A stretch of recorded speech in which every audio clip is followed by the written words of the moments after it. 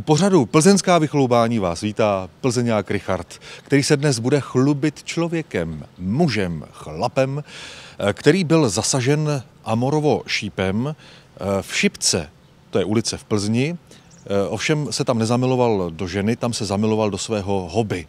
Ano, do svého koníčka velkého který mu ovlivnil následující desetiletí a nám, všem ostatním, přinesl radost. My všichni, kteří můžeme navštěvovat jeho muzea, je navštěvujeme v Kašperských horách, v Železné rudě, ano, všude tam je má, ale vybudoval jedno muzeum i tady v Bečově nad Teplou. Přátelé za hranicemi Plzeňského kraje, takže my se do celého světa chlubíme, že máme v tom plzeňském kraji Zdeňka Bálka. Ahoj Zdeňku. Ahoj Richarde. Podívej se, my se tebou chlubíme, Zdeňku, do celého světa že tě máme, že si dal dohromady tři velká moto muzea. A u jednoho z nich tady stojíme. Jak to začalo v té ulici v Šipce? No tak já jsem dlouhá léta pracoval v Plzni a ulice v Šipce tam bydlel pan Špaček.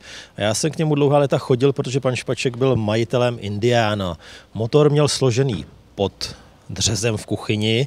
Říkal, to jsou motory, to už se dneska nedělá, dneska je to materiál na konzervy a ne na motory. A zbytek Indiana byl ve sklepě a takhle jsem za ním pravidelně deset let docházel a stejně jsem to Indiana od něj nedostal.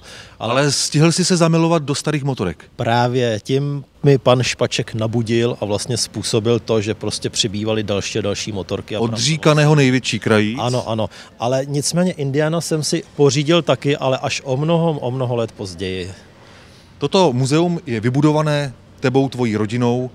Pod jeho střechou najdeme ale nejenom motorky, ale i třeba muzeum tvé manželky, muzeum hraček. Ano, máme tu i hračky, protože manželka pochází z hračkářské rodiny Brandů ze Skašova, takže v přízemí jsme udělali expozici hraček, aby si rodina mohla něco vybrat, aby se zabavila ta rodina celá a v patře potom jsou historické motocykly.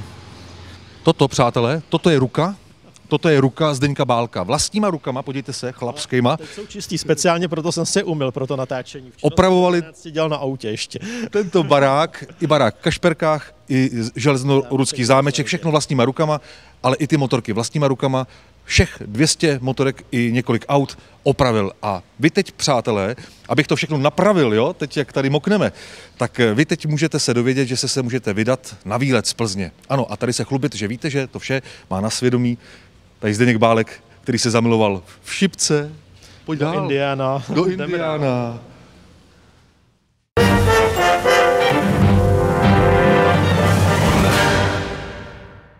Věra Špinarová sice zpívá, že byla bílá jako Java 250 a tady je Java červená, to možná, že eh, už chytila takovéto červenání se od tebe, Zdeňku, protože ty se vždycky červenáš, když se mluví o tvé nejmilovanější zálibě, o motorkách.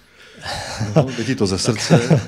Eh, bílá java se vyráběla pouze pro Neckermana. Takže dělali se 350, 250 kejvačky na vývoz pro Neckermana. A tahle tam má původní červenou barvu a ta motorka je to Java 250 Bison a je výjimečná tím, že se nikdy nerenovovala. Jména je to 88 km, přesně to, co je na tachometru a pochází od hasičů z příbramy. Ano, a každá ta tvoje motorka tady má svoji historii. Ty máš na 200 starých motorek, všechny si osobně opravil. A teď si nás zavedl do tohoto koutku sem. Proč právě k této motorce? Tak tohleto, to je zase taková krásná věc. Je to motocykl ČZ500, který bylo vyrobeno pouze, tuším, něco málo přes 500 kusů. A tady ta číza pětistovka, jména je to 70 tisíc kilometrů, v původním nerenovaném stavu. Dělali jsme pouze nějaké drobnosti na motoru a na sejdě a dlouhou dobu jsme s ní jezdili po závodech. A kdysi se tyto čízy údajně vyráběly i pro vatikánskou gardu. V tom provedení pro Vatikán byly smetanově bílé, měli zlaté linky a to, co je tady v chromu, bylo všechno ve zlatě. A je to nádherná motorka, ale já bych ocenil i trpělivost toho pána, co tady v té expozici stojí bez hnutí už ten hodně dlouho. Ten už tu stojí 15 let a ještě se nehnul. no, tak ten už se nehne opravdu. A tady naproti eh, Wagner, tak eh, Wagner to s tím skladatelem nemá nic co dělat? Ne, ne, ne, to nebude Wagner skladatel. To... A je stejně tak vážná ta motorka? Eh, no, tak tahle je hodně vážná. To je jediný dochovaný exemplář na světě v tomto provedení. To je firma Adolf Wagner, továrna jízdních kol a motocyklů Horažďovice.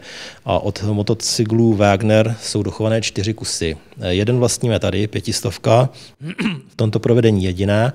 A další máme 250 taky OHC v Kašperských horách. A pak jsou mezi soukromými sběrateli dvě 250 OHV. Takže to je jediné, co se dochovalo od firmy Wagner z Horažďovic. A velká pícha tady za námi, ta červenožlutá? Tak Čechie to je nejdelší vyráběný motocykl. Na světě standardně se vyráběl pro tři osoby. Tohle je jedno z nejstarších provedení, co máme. No a to je taková všeobecně známá rarita. Motocykl úžasně dlouhý a všude obdivovan. A sběratelsky určitě hodně ceněný, že jo? Je to sběratelsky jeden z nejvyhledávanějších motocyklů, ano. Cena se neříká, protože to cena se... se neříká, no. Ne, ale cena se dá říct jinak. Možná kolik času tě stálo takovou motorku renovovat, protože, eh, jak jsi říkal, pro tebe není rozhodující, jestli ta motorka je drahá nebo levná na trhu, jako sběratelském, ale jaký máš hluboko v srdci, kolik let si na ní makal, na renovaci a tak? Já konkrétně se Čechým věnuji nějakých 14 let, takže tohle je jedna z Čechí, kterou jsem dělal. A tu v Kašperkách, co máš, tak na té si dělal, si vzpomínám, asi 7 let tu renovaci. Přesně tak a ta, co je v Kašperkách, tak tam má i úžasnou historii, jezdívala zase na Plzeňsku, vlastně pan Fischer, a který měl předělanou jako dýzla.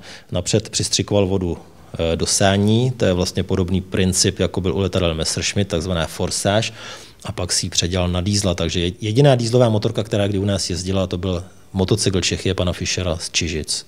A teď se podíváme tady v Bečově na teplou v Motomuzeu k motorce, kterou má nejraději Zdeněk Bálek. No doufám, že ostatní motorky nebudou žádlit.